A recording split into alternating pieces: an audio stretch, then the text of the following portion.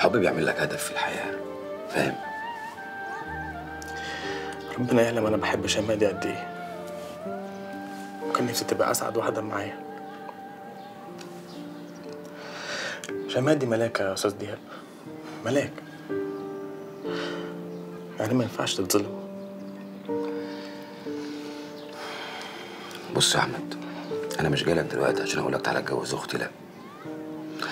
أنا جاي لك عشان عرفت إنك أنت واد جدع وابن حلال وبتجري ورا أكل عيشك. عشان كده أنا جيت لك. جيت عشان أتكلم معاك. يمكن كلامي ده يساعدك في حاجة. فوق يا أحمد.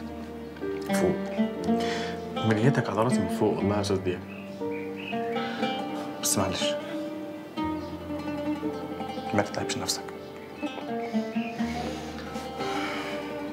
أنا جاي أقول لك اللي في نفسي وخلاص.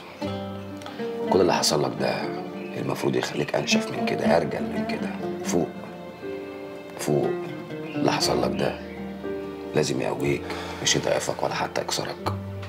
افهم الكلام يا أحمد. دوره في دماغك هتلاقيه صح في الآخر.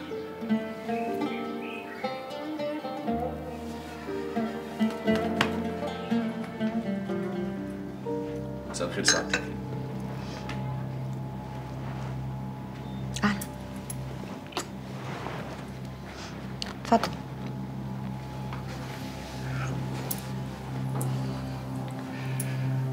أنا بشكر سعادتك إنك رضيتي تقابليني.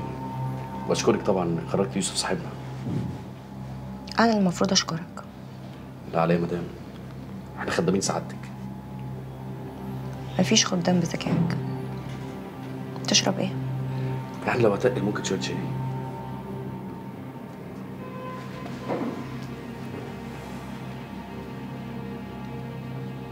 كنت عايزه أسألك عن الجنرال.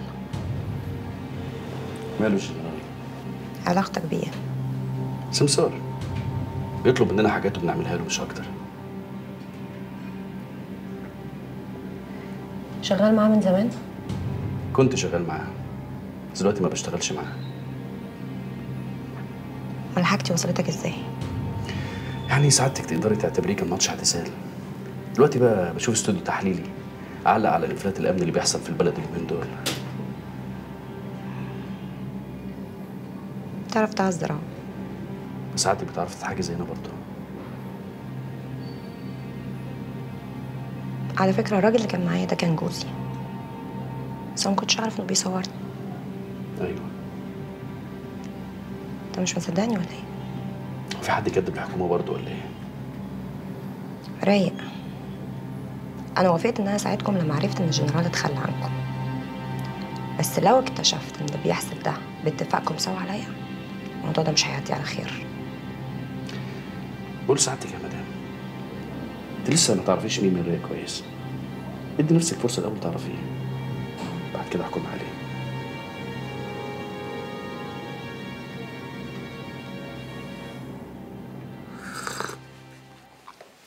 البنت طيبة وبنت حلال وبتحبني. فقلت أكتب عليها. بتقولي إيه يا يوسف؟ تكتب عليها؟ يا ألف نهار أبيض! إيه إيه بتعملي إيه؟ هزغرط يا حبيبي ده يوم المنى يا يوسف! أنا مش عايز حد في المنطقة هنا يشم خبر عن الموضوع ده. يعني إيه مش عايز حد يشم خبر؟ زي ما بقول لك كده. مش عايز بقى قعدة النسوان بتاعتك ولخلق كتير ولا الدنيا كلها عرفت في ثانية. طب فهمني العبارة إيه؟ اوه يا ستي زي ما بقول لك أنا مش عايز مخلوق يعرف خبر عن الموضوع ده. ولو لقيت حد عرف هعرف إنه عرف منك انت لأن أنا مش قايل لحد غيرك. خلاص يا حبيبي اللي تشوفه. ربنا يتمم لك بخير. على العموم يعني نادين بنت حلال وكويسة. بس يعني هي هترضى تيجي تعيش معايا هنا؟ شوف أقول لها إيه تقول لي إيه؟ يا ولية بقول لك مش عايز حد يشم خبر. تقولي لي هتيجي تقعد هنا؟ الله. أمال هتعيشوا فين؟ هنقعد عندها في الزمالك. طب وأنا يا يوسف؟ هسيبني أعيش لوحدي؟ جرى إيه يعني. كأني مسافر. ولو حبيت أطمن عليك أعمل إيه؟ عادي. كلميني على الموبايل لو في أي حاجة وأنا برضه بكلمك نتكل على الله. السلام عليكم.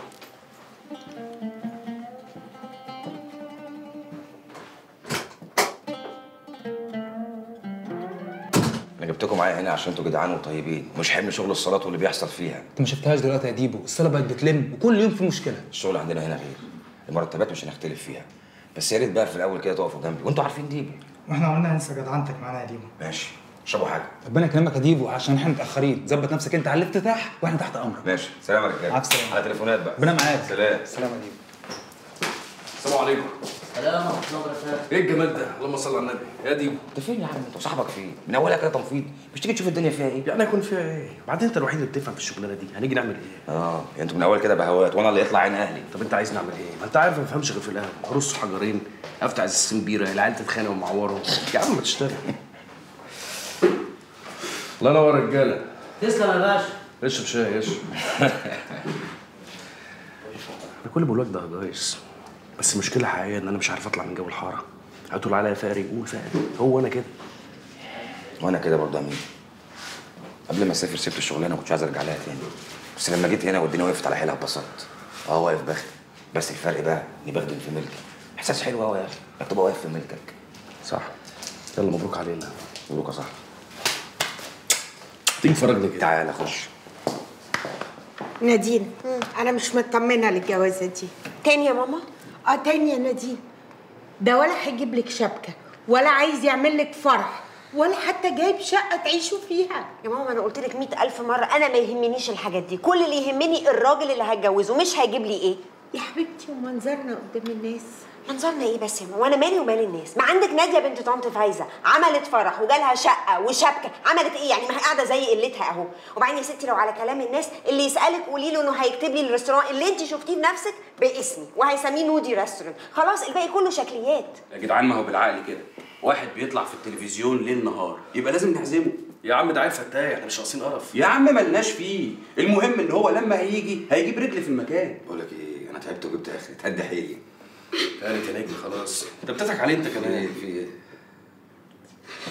فاكر فاكر صاحبك لما كنا في بورسعيد؟ ودخلناه في الجامع اللي جنب الجمرك. وده كانوا واصحى اديبه نتقفش اديبه وده مش فايدة. بالت جزم بحالها ما بعناش منها ولا جزء. صاحبك هو السبب. قال العيال في حتة هو قاعد تلبس الجزم آه ده جزم الميتين. ده أنت تلبسها فيا أنا أنت كنت هتعرف تبيعهم؟ آه ما تتباع. يا عم الحاج. اتبانت جزم كلها فرد شمال. هيبيعها إزاي؟ يا ابني ما البلد اللي بعديها جاية كلها يمين.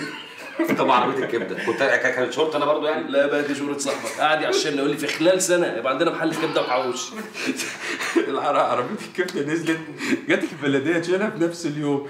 قال لك لحم كلاب. طب عرفوا منين ولاد الكلب؟ دول؟ كلاب. آه يا جدعان.